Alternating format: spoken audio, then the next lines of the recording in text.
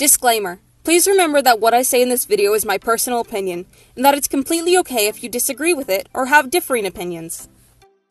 Hello everyone, and welcome back to my channel. Today I wanted to get a little more personal and talk to you about something. Although I make content that is about and caters to the furry fandom, I'm actually not a furry.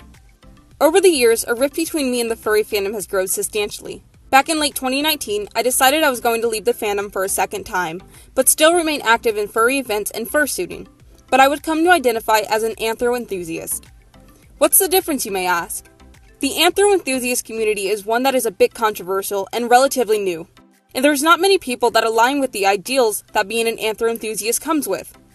Anthro enthusiasts typically go by a small set of rules no politics, no adult content, and no sexualization of any time. What this basically means is that anthro enthusiasm is a complete escape from the outside world. That is typically just having fun and appreciating anthro characters without the complications sexualization or politics can bring up.